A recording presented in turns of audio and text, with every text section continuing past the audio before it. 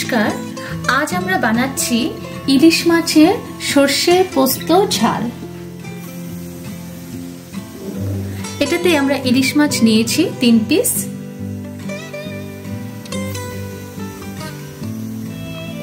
মশলা দেখুন। নুন নিয়েছি স্বাদ অনুসার হলুদ গুঁড়ো ওয়ান টেবিল স্পুন লঙ্কার গুঁড়ো হাফ টেবিল স্পুন সর্ষে রয়েছে, পোস্ত রয়েছে। সর্ষে দেখুন, এখানে আমরা টু টেবিল স্পুন নিয়েছি, পোস্ত নিয়েছি টু টেবিল স্পুন কাঁচা লঙ্কা রয়েছে, চার পাঁচটে।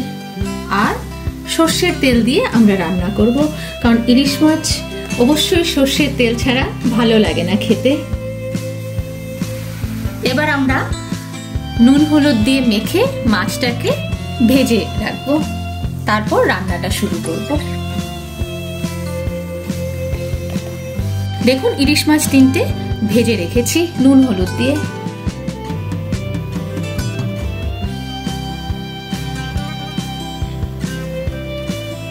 পোস্ত বাটা হয়ে গেছে এখানে, আর সর্ষে বাটা। পোস্ত বাটা, সর্ষে বাটা, কাঁচা লঙ্কা দিয়ে।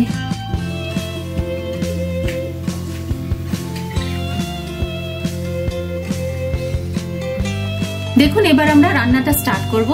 কড়াটা গরম হচ্ছে, এতে আমরা তেল দিয়ে দেব।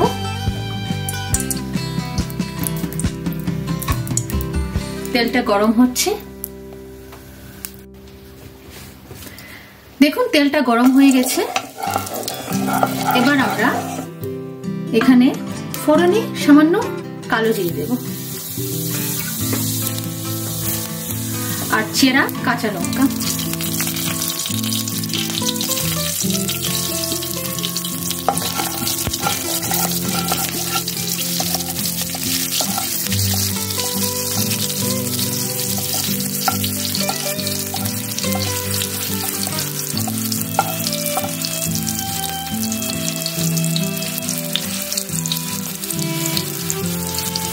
হয়ে গেছে ভাজা। এবার আমি এতে পোস্ত বাটা দিয়ে দেব।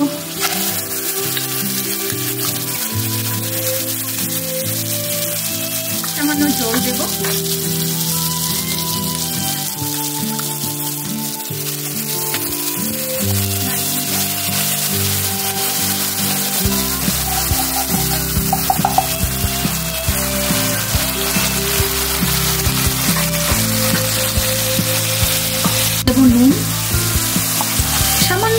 দেব।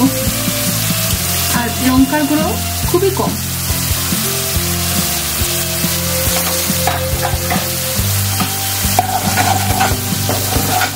অল্প কষানো হবে এটা।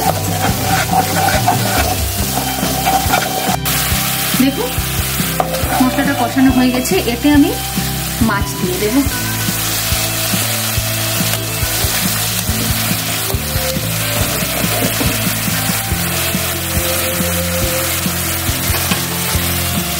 এটা কষানো হবে।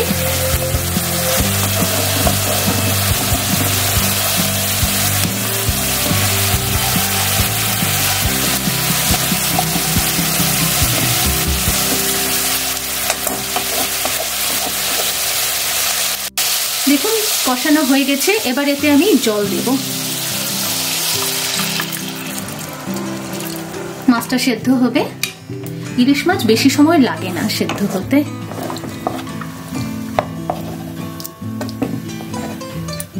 স্টিল আমি পাঁচ মিনিটের মতো এটা দেব। তারপর সর্ষে বাটাটা দেব। কারণ সর্ষে বাটাটা তেলের মধ্যে দিলে অনেক সময় তেতো হয়ে যায়। এটা ঢেকে রাখব। পাঁচ মিনিট।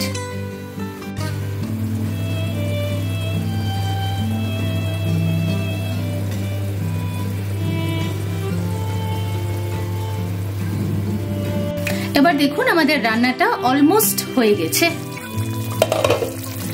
এতে আমি এখন সর্ষে বাটা দেব। সর্ষে, কাঁচা লঙ্কা, যেটা বেটে রেখেছি।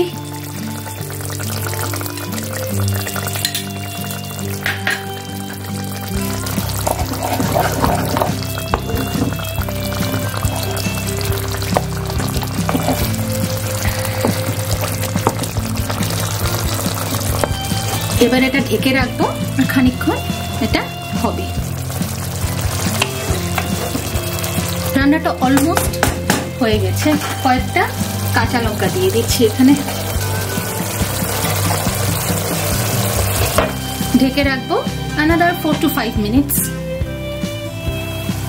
দেখুন এবার রান্নাটা হয়ে গেছে। সব তেল বেরিয়ে গেছে। সর্ষে, পোস্ত মিক্সড আপ হয়ে গেছে পোড়া। দেখুন কি সুন্দর দেখাচ্ছে। এবার আমি গ্যাসটা বন্ধ করে দেবো। Five minute standing time